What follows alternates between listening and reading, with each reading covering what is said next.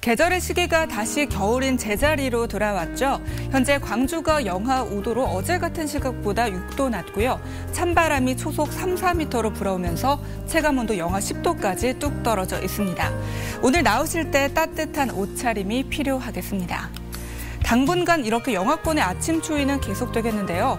내일 오후 늦게 비가 시작이 돼서 밤에 눈이 오는 곳도 있겠고요. 예상되는 눈의 양은 1에서 5cm로 제법 많겠습니다. 이 시각 구름 영상입니다. 현재 광주 전남에 구름이 조금 많이 끼어 있습니다. 차차 고기압의 영향권에서 맑은 하늘 되찾겠고요. 현재 가시거리는 20km로 시야는 비교적 시원한 상태입니다. 현재 기온 어제 같은 시각보다 5, 6도가량 낮은데요. 장성 영하 4도, 광주 영하 5도, 화순 영하 6도로 출발하고 있습니다.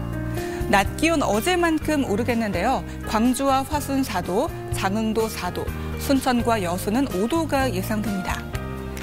오늘 해상 대체로 맑겠고요. 물결은 먼 바다를 중심으로 최고 4m로 거세게 일겠습니다. 1월 막바지에 접어들면서 당분간 평년을 밑도는 쌀쌀한 날씨가 이어지겠습니다. 이럴 때일수록 더욱더 건강 관리 신경 쓰셔야겠습니다. 지금까지 날씨 정보였습니다.